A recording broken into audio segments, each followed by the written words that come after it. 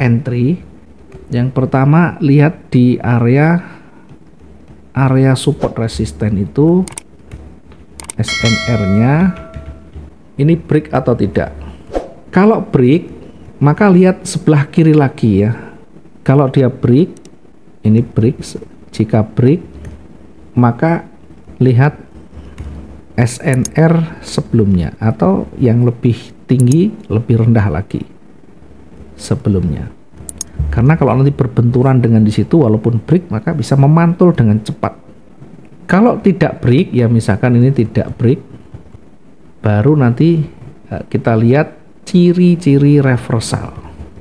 Apa ciri reversal? Bisa jadi ada loss momentum, ada kekuatan momentum yang berkurang, ada rejeksi, ada sumbu yang muncul di sana. Dan bisa juga tanpa rejeksi, tanpa loss momentum, ada perubahan warna yang signifikan sebenarnya paling gampang kalau kita pengen entry yang profitable itu di area di sini. Di situ apakah break apa enggak? Walaupun nanti membentuk satu pola begini, tetap aja nanti di support resisten. Di sini ada resisten, di sini ada support. Dia break namanya. Nah, break di sini kita kan bisa manfaatkan untuk target yang cukup ya, misalkan 500. Saat di sini mulai ada resisten di sebelah kiri, kita bisa manfaatkan reversalnya dengan melihat ciri-ciri reversalnya di sini. Targetnya sampai di sini. Itu yang paling gampang begitu dan pasti dapat peluangnya. Ya meskipun satu minggu tidak selalu berturut-turut satu minggu lima kali ya setidaknya dalam satu minggu itu punya potensi di atas 70% sudah bagus. Ini kalau kita pengen sederhana ya, kalau pengen sederhana kita bisa menarik garis tren naik dan turun yang di mana di situ ada dua puncak dua lembah. Atau kita bisa melihat dari sisi support resisten yang terdekat. Apakah break atau tidak? Kalau break lihat sebelumnya. Kalau dia break tapi sebelumnya mendekati di misalkan di atas ya break di atas di atas itu ada resisten sebelah kirinya lagi maka hati-hati bisa memantul kembali. Yang bebas apakah ada? Ada. Yang bebas juga ada ya suatu saat nanti pasti ketemu yang tidak ada uh, support resisten sebelumnya. Jadi kalau dia break selalu kita perkecil. Lihat sisi sebelah kiri. Kalau terlalu jauh ya kita lihat yang terdekat. Misalnya tadi kita mengambil posisi buy di sana targetnya uh, taruh di atas ya sekitar 500 ya taruh di sini misalkan. Jangan terlalu tinggi di awal ya kalau target terlalu tinggi misalkan targetnya di sini apakah boleh? Boleh tapi untuk mencapai ke situ bisa berat nanti ya. Apalagi targetnya sudah ribuan. Bukan tidak boleh boleh saja ya. Tapi untuk tercapai itu tingkat probabilitasnya akan lebih kecil. Oke kira-kira itu mungkin ada yang mau disampaikan lagi Bu Mirsya silahkan Pak ini kan kayak sekarang lagi konsolidasi ya? Iya betul. Nah uh, berarti kita nunggu dia ini M oh H1, ya. ya. Coba M15-nya Pak okay. boleh. Oh. Ah, berarti kita nunggu dia break ke bawah. Ini kan di bawah 1978 ini, ya. Harus ini. Ah, oh itu ya. Iya. Iya, iya, iya. Ya maksud saya kalau dia belum tembus itu breaknya, itu hmm, belum break valid. Belum, bisa mantul ke atas lagi. Iya, iya, iya. Nah, kalau kita lihat di M15, ngitungnya begini bu satu dua tiga empatnya ya kan yang dominan yang dari running itu kan merah. Jadi ini struktur satu dua naik tiga turun. Nah turunnya kan ini masih sejajar. Tunggu sampai dia break. Setelah break nanti tunggu koreksi. Itu paling luar biasa valid nanti ya. Koreksi begini. Setelah itu baru dia akan kembali turun. Dengan catatan koreksinya jangan sampai tinggi begini.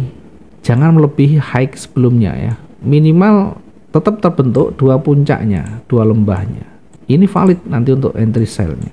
Tinggal menunggu waktu saja kalau misalkan ada gonjangan-gonjangan kecil biar aja nanti akan pada akhirnya akan kembali. Tapi dihitung kira-kira kalau kita menggunakan uh, range satu hari kemarin kira-kira uh, cukup enggak ya. Kalau masih cukup, masih aman berarti masih peluangnya masih besar. Sekarang kan masih kecil, range-nya masih pendek. Jadi peluang untuk sampai ke sana itu masih tinggi. Termasuk naik sampai di puncak di sini masih terbuka sangat lebar sekali. Ini pergerakannya hanya kecil-kecil begini. Tinggal nanti kita lihat ke mana dia lebih dominan. Kalau dia hijau-hijau begini lebih dominan ke atas ya kita fokus ke buy. Cuma jangan ngambil di puncaknya. Biasanya kan begitu hijau kan orang demam di situ. Demam candle namanya ya. Jangan ngambil di situ, tunggu koreksi. Koreksi itu bisa begini, ada sumbu, ini juga koreksi. Atau pas dia naik, kemudian ada merah, merah, merah, merah, sampai di sini misalkan. Ya, di sini kan ada e, banyak penolakan ya. Nah, di sini. Pas naik, jangan ngambil posisi buy di puncak. Tunggu koreksi turun. Nah, baru setelah itu akan kembali naik gitu cara melihatnya. Jadi jangan buru-buru kalau kita mengambil posisi buy meskipun hijaunya tebal di sini. Masih ada area resisten. Dia kuat begini ini dilihat apakah nanti ada rejeksi apa enggak utuh pun tidak ada penolakan pun karena break melalui fase break itu hati-hati.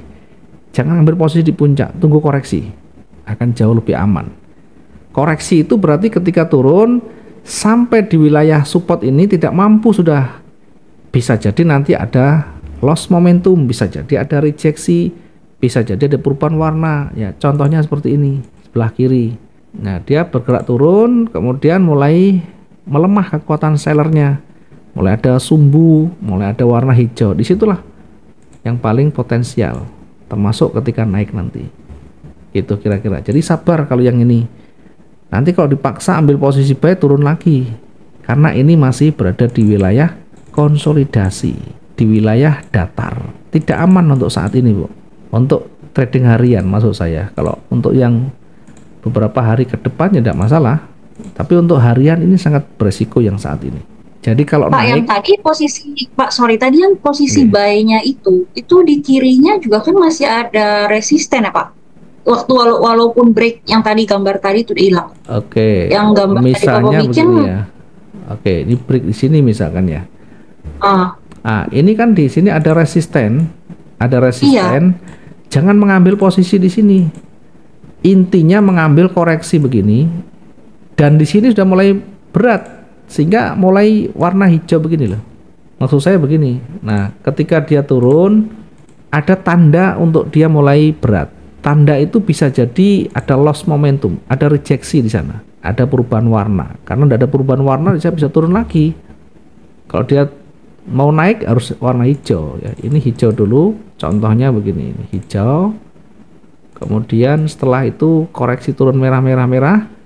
Nah, di sinilah nanti kita lihat di area res support ini kita lihat apakah ada tanda-tanda pembalikan itu atau tidak. Ya kalau ada tanda kita konfirmasinya apa? Oh, di situ ada doji misalnya. Oh, di situ ada hammer misalnya. Oh, di situ ada angle fing misalkan. Boleh saja. Baru kita entry-nya di sini. Lah itu kan di sebelah kiri kan ada banyak penolakan. Tapi kan ini sudah mulai mantul di sini. Ini loh. Maksudnya yang terdekat ini sudah mulai berat. Nah, nanti target target yang terdekat itu di puncaknya. Di puncak dia tertingginya. Kalau enggak berarti kita tempatkan di banyak penolakan begini. Ini caranya. Bukan yang sebelah kirinya lagi ya Pak. Coba deh geser ke kiri kayaknya ada. Nah itu tuh yang kecil itu termasuk gak sih Pak? Di bawah hijau sedikit nih. Ini. 1985 iya. Itu boleh, nggak apa-apa di sini.